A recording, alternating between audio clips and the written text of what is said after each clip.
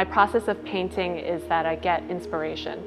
So it's a connection to myself, a connection to the universe. In the moment of starting to create, I get this, just this connection and inspiration of feeling what I'm supposed to paint. I'll hear the colors, I'll hear the types of brushes to use, I'll hear the brush strokes, and then I just kind of freeform. It's just um, kind of like a free process.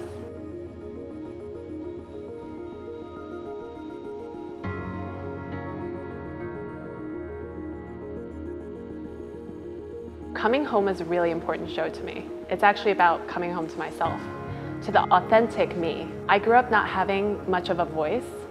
I was very subservient. Coming home was really finding myself, like finding my voice, being able to really just get to know the authentic me. So being very honest, being very loving and compassionate towards all my flaws, my imperfections, and just being me.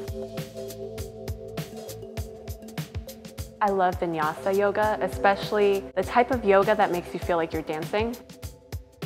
Flow and energy are really key features. I like to use really big brush strokes. If you look at a lot of my paintings, there's a lot of flow and movement. And I feel like that's the movement that keeps us moving forward.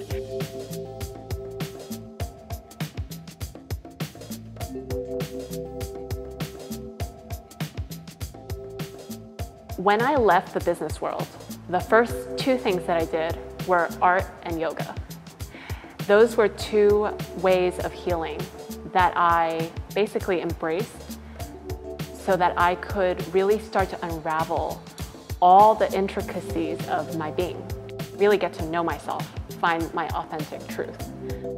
The reason why yoga plays such an important role is because through movement, through intention, through complete focus on your breath, on your body, mind, and spirit, all parts of you become aligned. And it's through this movement that we can really come back and access the wisdom of our body, the wisdom of our heart. Part of the show, Coming Home, is about finding ways to accept ourselves so we can be our best selves.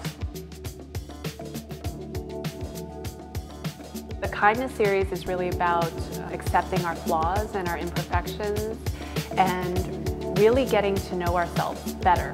Because it's only when we meet our flaws, our imperfections, our real behavior with kindness and with love that we can really see it clearly. One of the paintings that I really like is called Behind My Mask. And Behind My Mask is a painting with a lot of dark blues in the background. In the middle ground, there are splashes of red and white, and in the foreground, there are flowers. The flowers look very pretty, they look very composed. It's the way we interact with the world. It's our mask. So we all have a mask, and the mask is, let me hide how I'm actually feeling because the world should not see this. And we have this conception now in this day and age that we have to be very proper, we have to be very reserved about our feelings, but actually a lot of us have a lot of pain and suffering inside. And oftentimes we're told it's not safe to be ourselves truly. But I feel like when we do have the courage to speak up for our needs, to explore and delve into this pain, it actually helps us heal. The next series is called Courage, and the reason why it's called Courage is because once we know what our habits are and our limiting beliefs, we really need the courage to jump out of our comfort zone and to face our fears, to jump off the cliff and trust the unknown.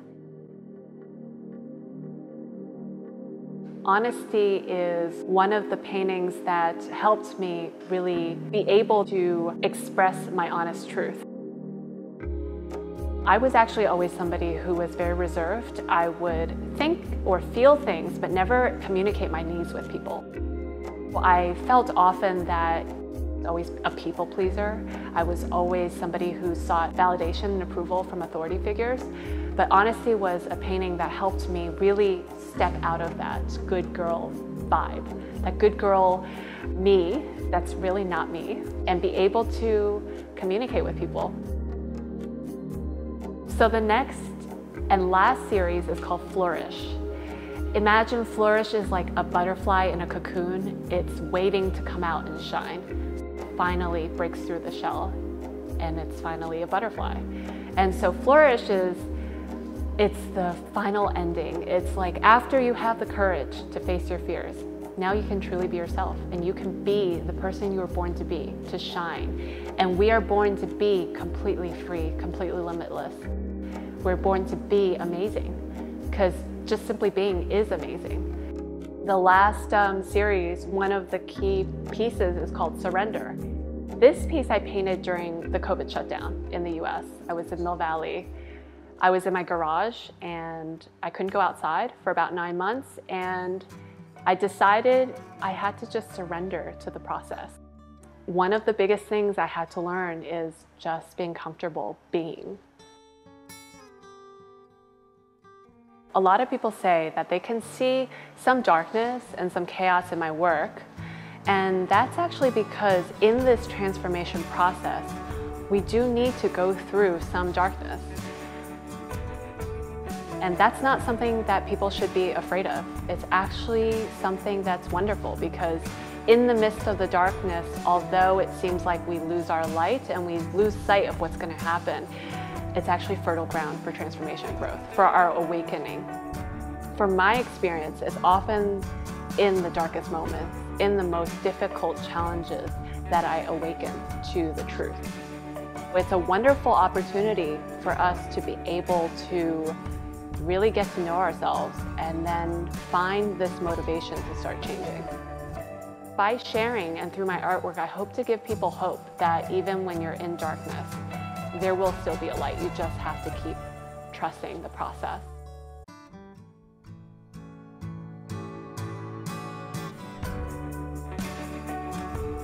I think we've gone through an era of bit of a spiritual drought.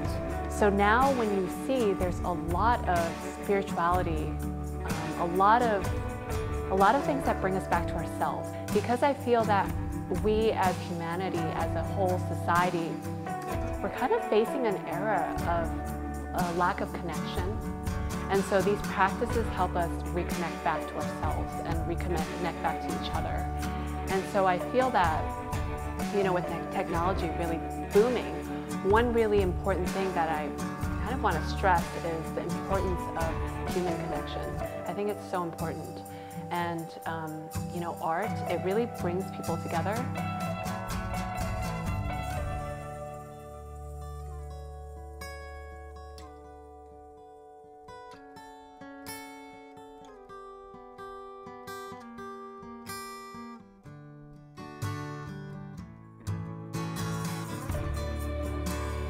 What we've learned.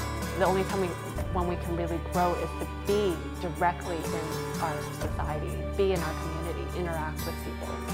So that's kind of the message of my artwork, that how do we find this connection back to ourselves so we can be really authentic? And when we do, when we're really connected back to ourselves, how do we find this connection with our world? How can we be our best selves in this world that we live in?